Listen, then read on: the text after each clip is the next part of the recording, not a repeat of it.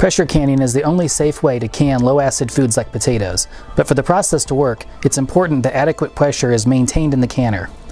Dial gauge canners, such as this one, should be checked annually to ensure they are accurate.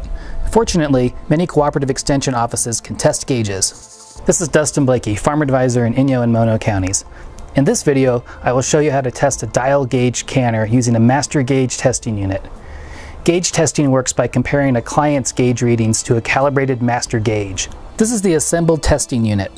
It has a foot pump to pressurize the apparatus, attached to a plastic cylinder with a master gauge on one end, and a vent pipe with a rubber adapter seal on the other. Your unit may need some simple assembly.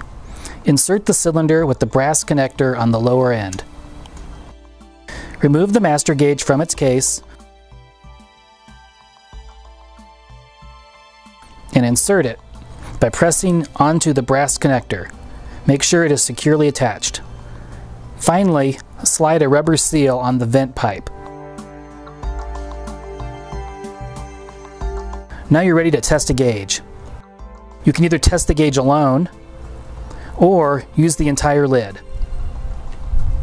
Since it usually works fine either way, it's best to advise clients to bring the lid with the gauge still attached. If they bring in the entire canner, you should inspect it for them and answer their questions. Place the opening on the bottom of the gauge securely against the vent pipe. You should be able to make a good seal against the rubber piece.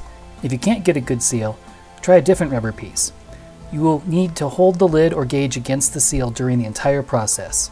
Use the foot pump to raise the pressure. It is useful to take three pressure readings to account for differences in recipes and altitude. You will be measuring at 5, 11, and 15 psi.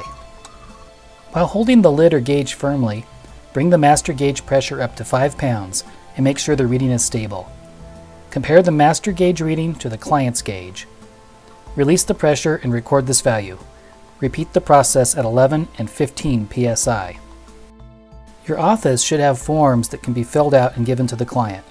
In California, we have a waiver for clients to sign and inspection forms. If your state doesn't have any required forms, you can use forms from the National Center for Home Food Preservation.